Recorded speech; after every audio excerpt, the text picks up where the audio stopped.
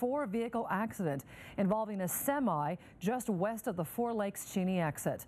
And KXLY4's Casey Lund was there as WSP troopers reconstructed the scene.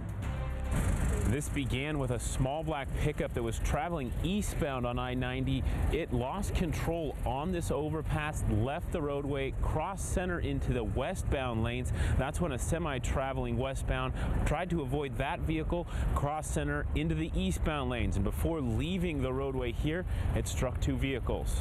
This is where the semi stopped moving. The driver was successful in missing the first vehicle that lost control. It did make contact with this Subaru.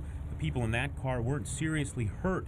The semi made a more serious impact with this Prius, killing the car's driver and shooting the vehicle back a good distance from where the collision happened.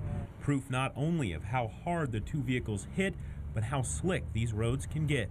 It happens quickly, and drivers just need to be prepared for those conditions. We, it's wintertime. Trooper Jeff Sevigney stresses just how important it is to be aware of the conditions you're driving in and how quickly they can change. We had a fog set in and uh, froze the bridge decks, which is fairly common this time of year.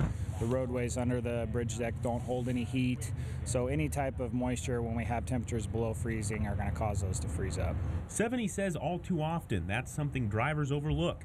The investigators first on the scene had a hard time standing on this overpass. You, you could play hockey up there. It was just, uh, and, and, again, set them very quickly.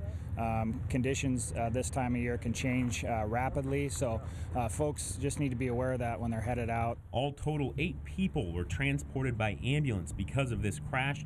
None of their injuries were life threatening. Near Medical Lake, Casey Lund, KXLY 4 News. All right, thank you, Casey. And just minutes ago, the medical examiner identified the driver killed in that accident as 38-year-old Erlinda Alzate Barrera died of a head injury.